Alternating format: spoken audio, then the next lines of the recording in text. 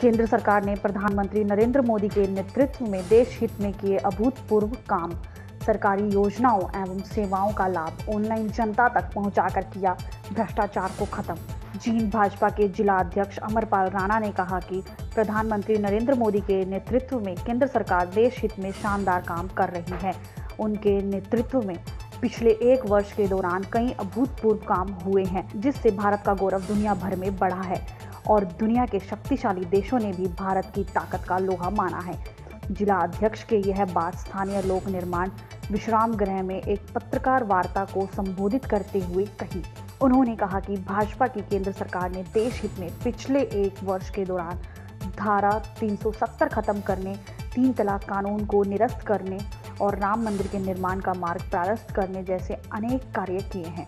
सरकार द्वारा अनेक जन कल्याणकारी योजनाएँ लागू की हैं।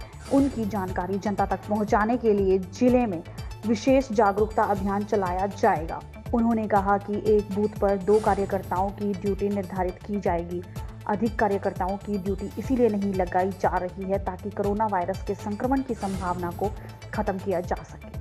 सरकार की कल्याणकारी योजनाओं एवं नीतियों को जन जन तक पहुँचाने के लिए प्रत्येक बूथ 25-25 लोगों का व्हाट्सएप ग्रुप बनाया जाएगा। इन ग्रुपों में तमाम प्रकार की कल्याणकारी योजनाओं को डाला जाएगा ताकि अधिकाधिक लोग इन योजनाओं की जानकारी हासिल कर लाभ ले सके।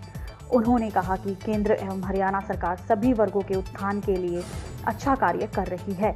ये पाँच प्रकार का हमने संपर्क करना है। इसमें पहला व्यक्तिगत संपर्क है, जो हम दो दो एक बूथ से।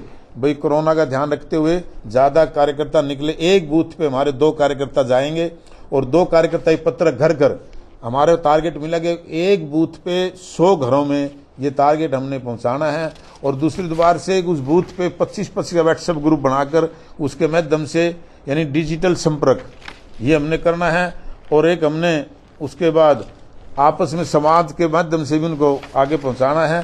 तो इस प्रकार की पाँच इसमें हमारे माध्यम है, जिनके माध्यम से हम उनके आम जनमानस तक ये उपलब्धियाँ हमारे जो छोटी से लेकर बड़ी तक तो पाँच सात मैंने मेन मेन गिनवाई हैं आपको, इसमें सारी हैं। ये हम आपको पत्र देंगे।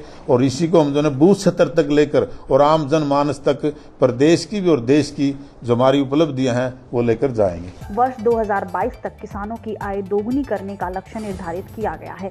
संभवत इस लक्ष्य को प्राप्त किया जाएगा। उन्होंने कहा कि फ़िलहाल कोविड 19 का प्रकोप चल रहा है। इस वायरस को दुनिया के लगभग सभी देशों पर प्रतिकूल प्रभाव पड़ा है। विश्व के विकसित देश भी इससे अछूते नहीं हैं। इन देशों को कोरोना वायरस ने काफ़ी नुकसान पहुँचाया है। लेकिन प्रधानमंत्री श्री नरेंद्र मोदी के कुशल नेतृत्व की बदौलत देश में इस वायरस का प्रभाव अन्य देशों की तुलना में काफ़ी कम रहा है। उन्होंने कहा कि कोरोना वायरस को हराने के लिए सरकार को जनता का भी पूरा सहयोग मिल रहा है। निश्चित तौर पर कोरोना वायरस की हार होगी। उन्होंने कहा कि केंद्र सरकार ने देश की अर्थव्यवस्था को मज़बूत करने के लिए 20 लाख करोड़ रुपए की राशि विभिन्न क्षेत्रों के लिए दी गई है। इस राशि से उद्योग, कृषि लघु उद्योगों को काफ़ी फ़ायदा मिलेगा। उन्होंने कहा कि प्रधानमंत्री नरेंद्र मोदी ने आत्मनिर्भरता का मंत्र दिया है। गाँव, शहर, कस्बे आत्मनिर्भर बन जाएँगे तो कई समस्याओं का समाधान अपने आप ही हो जाएगा। देखिए, प्रधानमंत्री जी ने के जो चाइनीज़ के बारे में कहा है कि देश को आत्मनिर्भर बनाना है। आत्मनिर्भर जब हम होंगे तो अपने आप ऑटोमेटिक हमारी अनेक समस्याएँ खत्म हो जाएँगी। और इसमें जो है ना ये चाइनीज़ की जो धमकी थी, उससे भी आपने देखा होगा, मोदी जी ने कैसे उनका जवाब दिया है कि एक सेकंड उन्होंने एक दिन से पहले सभी को मैसेज करके जनरल को बुला के अपनी सीमाओं पर तैनात कर दिया है सेना को, और उन्होंने कहा है कि भाई हम पहले कोई शुरुआत नहीं करेंगे और बाद में कोई कसर नहीं छोड़ेंगे। कि बिल्कुल ठीक है, लेकिन इसका जो मोदी जी ने पीछे भी आपने सुना होगा, आप मन की बात में भी, कि इसमें जो है ना, हम आर्थिक नीति को ऊपर लाने के लिए आत्मनिर्भरता से इसमें जो करेंगे उससे जो है इससे लाभ मिलेगा हमें इसको। और जो है ना, हमारे इसमें कोरोना के लिए 20 लाख का पैकेज इसमें लिखा है, इसमें दिया है मोदी जी ने। उससे तो फिर आगे ऊपर आएगी आपकी जीडीपी इस अवसर पर संदीप गोस्वामी, पुरुषोत्तम शर्मा, मनीष उर्फ़ बबलू समेत भाजपा के कई पदाधिकारी मौजूद रहे। खबर तहलका के लिए जीन से रेखा रानी की रिपोर्ट।